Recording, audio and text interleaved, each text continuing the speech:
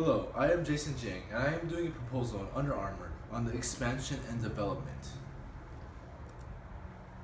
Our problem here is that Under Armour isn't doing so well in the soccer sector.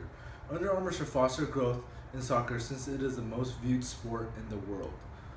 Under Armour hasn't had any prior success in international sales. International revenue is crucial to a company's development. Our evidence here provided is that Under Armour should follow the footsteps of Nike in soccer. Nike strategically targeted key teams and players for sponsorships and turned these sponsorships into larger ones, thereby deepening its relationship with national leagues, stated by Forbes. Now, nearly two decades later, Nike is one, one of the most prominent names in the soccer business, sponsoring nearly 30 national teams and some of the most influential club teams in the world, also stated by Forbes. Nike is sealing prom prominent partnership agreements with organizations to align its brand image. Brand image is crucial for Under Armour. Under Armour's growth overseas will increase astronomically. This graph shows Nike and Under Armour in revenue performances. As you can see, Nike, Under Armour, Nike has dominated Under Armour in revenue growth. Nike's growth since 2000 to 2001 has increased from 3 billion from 9 billion to 27.8 billion dollars. Under Armour on the other hand has not shown much growth since has only grown less than 3 billion dollars.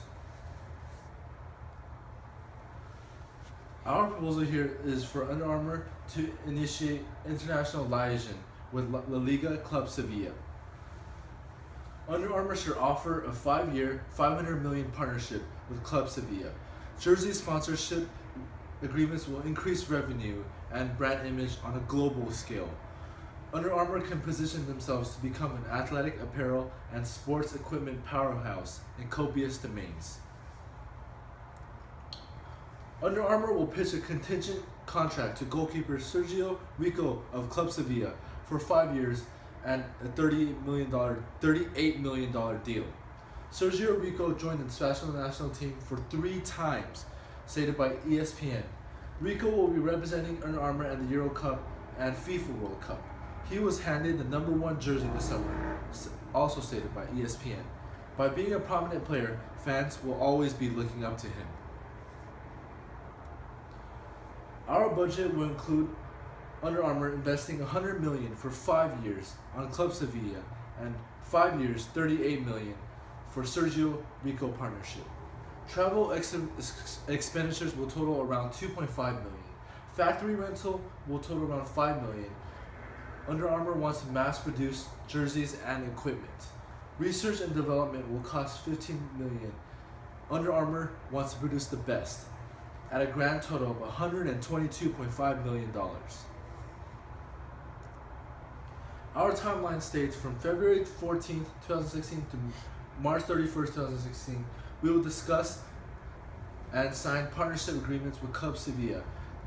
To go into depth, we will discuss jersey sales, regulations, and endorsements specifics, and we will match any qualifying offer. From April 21st, 2016 to May 30, 2016, Club Sevilla and Sergio Rico will sign with Under Armour. Both Club Sevilla and Sergio Rico discussed partnership with Under Armour at a press conference. From June 10, 2016 to July 10, 2016, the Euro Cup 2016 will take place. The Euro Cup will witness Club Sevilla an upgraded Under Armour soccer gear and jerseys. August 15 through May 2017, the La Liga football will resume. Brand value will increase. Jersey sales and soccer gear, gear recognition will rise after each game. Our benefits of the proposal is that Under Armour's brand image will increase on an international level. The brand will be recognized globally. Under Armour's brand name will be seen everywhere, including the FIFA World Cup, Euro Cup, Summer Games, soccer games on television. Under Armour will witness an increase of international revenue. This will lead to capital gains. By engaging Liaison with Club Sevilla, Under Armour will have the chance to sponsor other teams and famous players. Thank you for your cooperation.